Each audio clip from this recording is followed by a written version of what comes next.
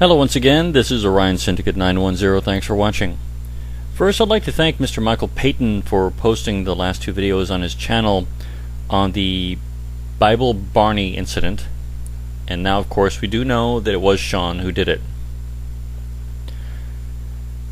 As far as your hope that Shawn might take this incident and you know, it might make him a better person or he might learn from his mistakes in the future.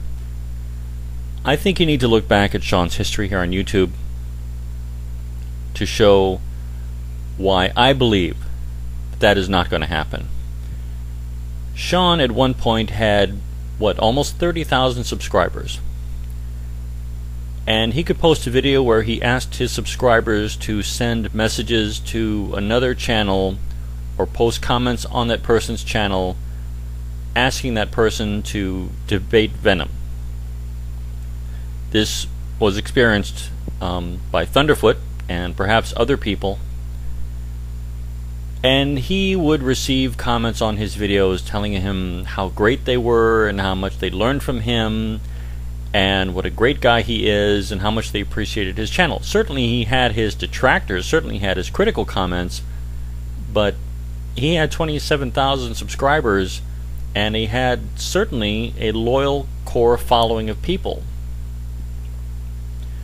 And at times when it looked like Shawn might have to close his channel or he might get into some kind of trouble, he always had people to stick up for him and tell him how great he was. At one point, he was even able to ask his subscribers to send him money. And they sent him money, and he used this money eh, what was it like a few thousand dollars to go off and buy those things he wanted. He had software on his computer as well as um, video recording equipment where he could make even better videos than the ones he had made initially. And one day, not long ago, all that came to an end. All the subscribers are gone, all the people on his YouTube friends list gone, all that video recording equipment useless. At least for making videos for YouTube. Um, he doesn't have a group of people that he can say, hey, go send that guy a PM and tell him that he should debate me, or, you know, encouraging people to flag down someone's videos. I don't know if he really ever did that or not, but uh, certainly that is a result of what happened to people's videos who criticized uh, Shawn in the past. And even today, there are people still loyal to him and angry that anyone would dare criticize Shawn in any fashion.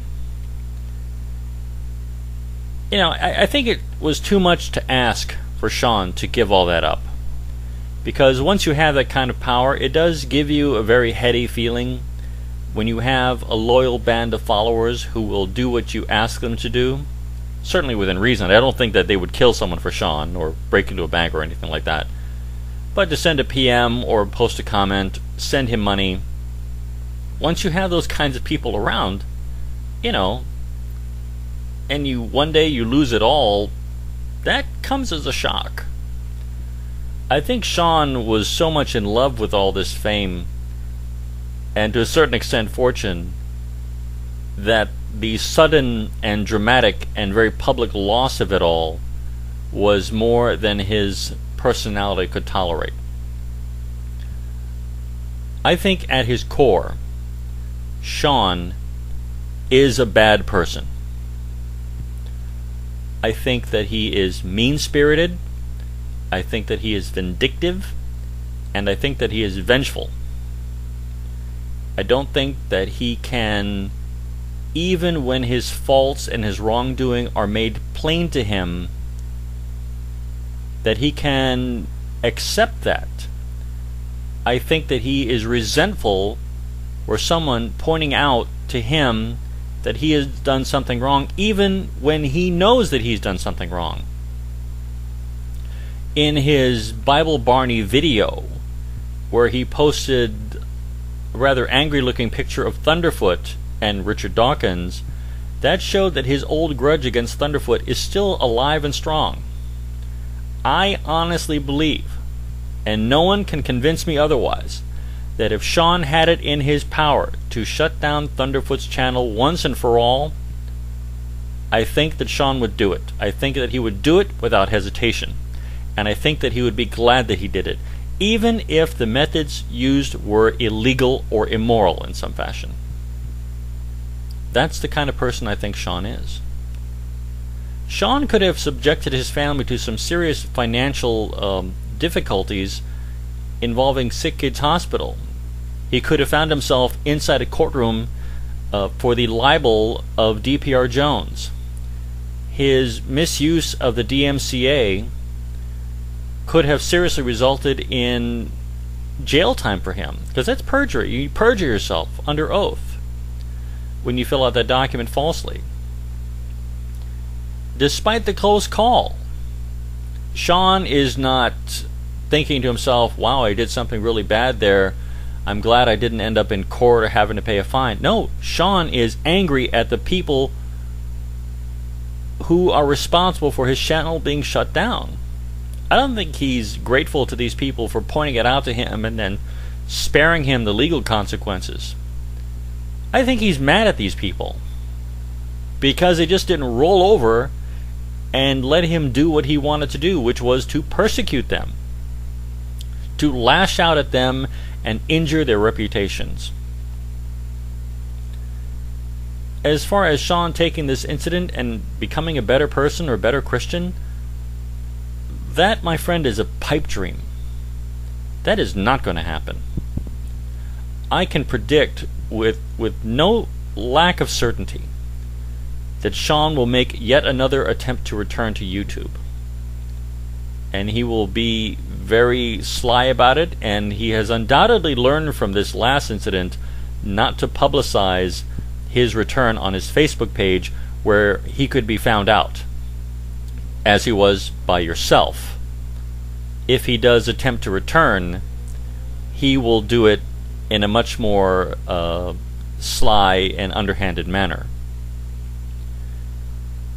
You know, I know I'm going to take some heat for having said this, but I honestly believe that Shawn is a bad person. I think that he is selfish and self centered. He is the kind of person who enjoys self glorification and enjoys the adulation of a crowd. He is that kind of person. I perceive him to be that way. And there's no one around here who can tell me anything differently.